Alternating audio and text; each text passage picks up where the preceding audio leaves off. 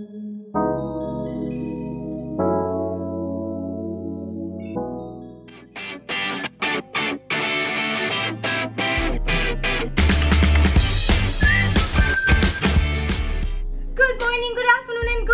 welcome to my channel. My name is Christel. To the newcomers, welcome. Welcome to the old timers, welcome back. You can help me grow my channel by clicking the subscribe button and the notification bell. Hi guys, I'm back and it's Sunday. By the way, I just want to say thank you to everybody that supported me and watch my videos every Sunday. Because you know why? I just got monetized. Woo! And it's all because of you, because you watch it every Sunday and I hope you still continue to support me. And it really means a lot to me. Thank you, thank you again. So today we're gonna be making a DIY because why not? So, I don't know what I was thinking. I bought that sewing machine. I bought it without any experience or knowledge of how to use a sewing machine. And I saw everybody just sewing anyway. And I think I'm gonna be good at it, okay? That's what I think, okay? And then I tried it, fine. And guess what? Now we're doing a DIY corset.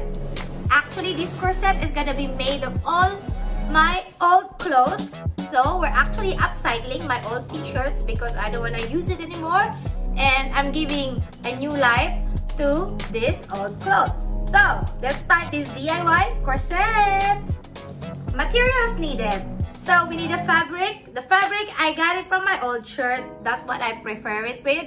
I even use my husband's old shirt for the lining. So, we need to have the front um, fabric and the lining fabric. Yeah.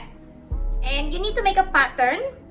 I'm actually attaching a pattern so you can just um, save it up, print it, and tweak it to your size. You know, you can change it up. So actually the pattern is with the strap. So what I'm doing is a tube because I didn't have enough fabric.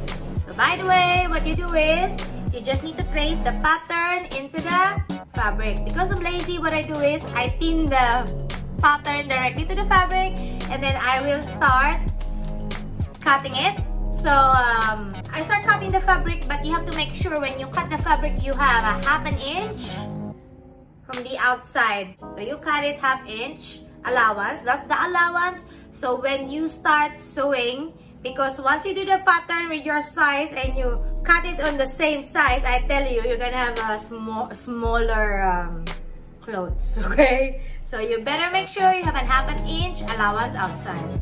So yes, you have to cut twice because you have the front fabric and the lining fabric. So for the lining fabric, I use my husband's shirt because why not? so once you cut everything, the front fabric and the lining fabric, just a tip, when you have a design, make sure it's in the center when you cut it, okay? It's in the fold. Once everything is done for cutting, now we can start sewing. So what we sew is whatever we need to connect, okay? So we're just gonna use a straight stitch. So we will connect the front fabric and the lining fabric. Once everything is connected, what we do is, we're gonna turn the fabric inside out. So make sure that the top design is inside, same as the lining. So it means that the raw or the ragged edge will be outside. Both for the lining fabric and the front fabric.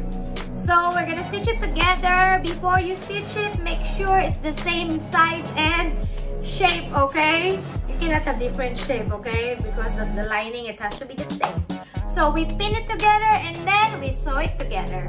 Sew, sew, sew in the sewing machine. So same straight stitch. So what I do is I stitch everything and after I stitch everything, I use my seam ripper to open up a hole. So when you open up a hole, that's when you turn the fabric inside out. I use a chopstick to help me. Once everything is ready, yeah, you can see that the shape is coming through. It's almost done. Almost. So what I do is, after I turn the fabric inside out, you're gonna see that's the finished product. Nope, not yet finished. So what I do is, I will stitch it on top because I like doing that and because I have the hole. But it's up to you. You definitely don't need to stitch it. But I like it. It looks much more professional. So anyway, I stitch all the sides. I think um, half an inch or lesser than that. So it's all over the side. But what you do is, to make it a shortcut, don't stitch the lower part because we still need to put the ribbing for the corset. Okay, once all the top stitches is done, now we have to measure for the ribbing. For the ribbing, what I use is a cable tie like all the other girls in TikTok are doing. Yep, so cable tie for the win. So you just need to measure the size of the cable tie. Where do you want it? You can do any design you want. As for me, I'm putting 5 ribbing for the cable tie. Okay. After you measure the cable tie wire, to put in, make sure you have enough space to move, okay? Because you still need to stitch the below of the corset, okay? And also, don't forget to file the cable tie because if you don't file it, it's gonna damage your fabric. Once you put that into the stitches and put the cable tie, you're almost there. Stitch the below of the corset. Whew, almost there. It literally looks like a corset now, right? So what we do is now we go for the back. So what we do with the back is, we do a grommets. So you need to have the grommet set. So you can buy it online. I bought mine from AliExpress. It's cheaper. Yeah, so you need to do this with the grommets. Basically, you need a hammer and the hole maker and the setting for the grommets. So I did it with 8 grommets on the other side and 8 of course on the other side.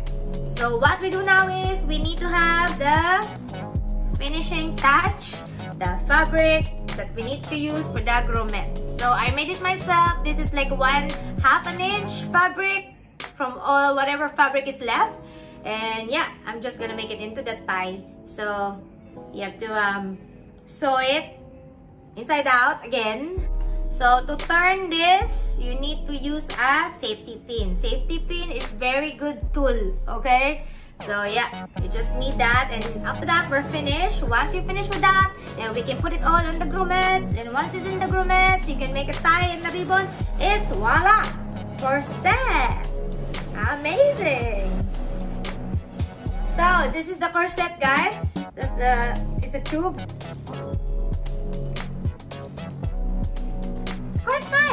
I like it. I like the design of it. I mean, it's better than throwing my shirt. yeah, so this is the corset. Nicely done. By moi. I think it's a bit big though. I don't know what I'm thinking. Maybe it's the fabric of this shirt. Yeah, but it's okay. I don't mind it. okay, so this is the other tube that I made. It's also a corset. Also from my old shirt. So this see the design, I put in the middle, Amsterdam, Amsterdam, Amsterdam. So this is a bit tight, but the other one is a bit big, right? Yeah. Quite nice. It's the same pattern, guys. So it's up to you if you want to do it with the strap or the tube. So you just, you know.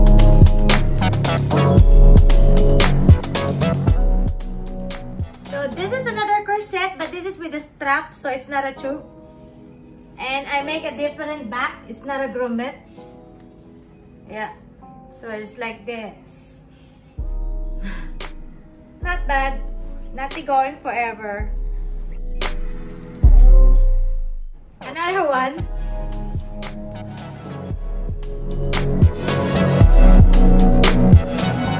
Okay, so this is the last one, okay? Don't get bored. This is one of my favorites because I really like this print of the Sex Pistol shirt. And I think the size is perfect. Nice!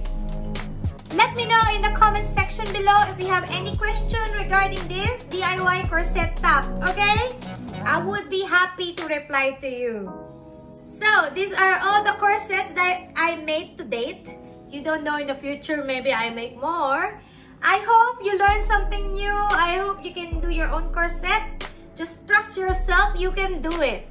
Anyway, stay safe and stay healthy. I'm your friendly Tita from Manila that lives in Singapore. Saying ciao, See you again next week. Bye!